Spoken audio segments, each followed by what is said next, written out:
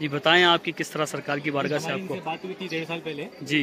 और इनने हमारे को तबरुक भेजा था यहाँ से जी। और उसके कुछ तीन महीने बाद ही हमारे को हमारे उड़ा से हमारे का उसमें वो है अल्लाह का करम है। बिल्कुल बेशक।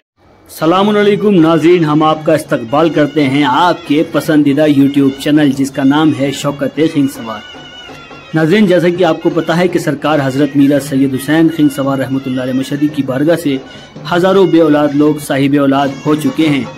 आज भी सरकार हज़रत मीरा सैयद हुसैन खिंग सवार रहमतुल्लाह मशदी की बारगाह में एक खुश नसीब परिवार हाजिर हुआ है कि जिनको परवरदिगार आलम ने सरकार के सदक़े में साहिब औलाद किया है। तो आइए नाजरीन, मुलाकात करते हैं उनसे। सलामकुम नाजरीन, आज रबी अव्वल की इक्कीस तारीख है और सरकार हज़रत मीरा सैयद हुसैन खिंग सवार रहमतुल्लाह मशदी की बारगाह में।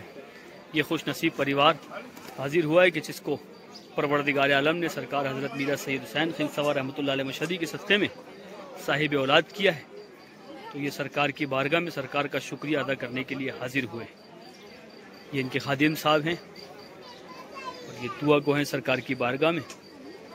इनके हक में दुआ खैर की थी। परवरदिगार आलम ने सरकार मीरा सैयद हुसैन सिंह सवार मशदी के सस्ते में इनको साहिब औलाद किया है। यही वो पेड़ है कि जिसका फल खाने से किन्नर को औलाद हुई थी। तभी से तमाम बे औलाद लोग सरकार की बारगाह में हाजिर देते हैं और इस पेड़ का फल अपने साथ लेकर जाते हैं। और परवरदिगार आलम सरकार मीरा सैद हुसैन सिंह सवार रहमतुल्लाह मशदी के सदक़े में बे औलाद लोगों को साहिब औलाद करता है। आइए नाजरीन, पूछते हैं इनसे। जी हज़रत। जी सलाम वाले सलाम। जी क्या नाम अपना? मेरा नाम अल्ताफ शेख है। जी कहाँ से तशरीफ़ लाए आप? जी मुंबई से। जी बताएँ आपकी किस तरह सरकार की बारगाह से आपको बात हुई थी डेढ़ साल पहले। जी। और इनने हमारे को तबरुक भेजा था यहाँ से। जी। और उसके कुछ तीन महीने बाद ही हमारे को हमारे से हमारे उसमें वो है अल्लाह का करम है। बिल्कुल बेशक बेशक देने वाले ज़ात परवरदिगार की। क्या कहना चाहेंगे आने वाले जायरीन के लिए जो यहाँ से फल लेकर जा रहे हैं उनके लिए? रखिए देने वाली जात अल्लाह की है लेकिन इनका भी बहुत बड़ा हाथ है। बिल्कुल बिल्कुल।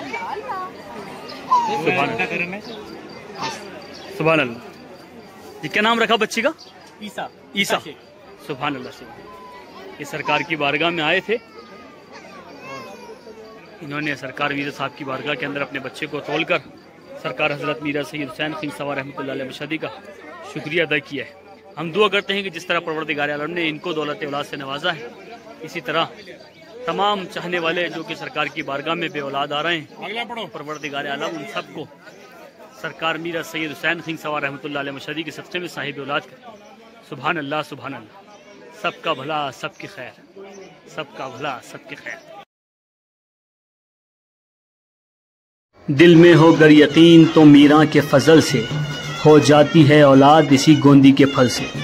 तो नाजरीन, आपको ये हमारा वीडियो कैसा लगा? बरए मेहरबानी, कमेंट्स बॉक्स में ज़रूर बताइएगा और हमारे इस चैनल को सब्सक्राइब ज़रूर कीजिएगा। खुदा हाफिज़।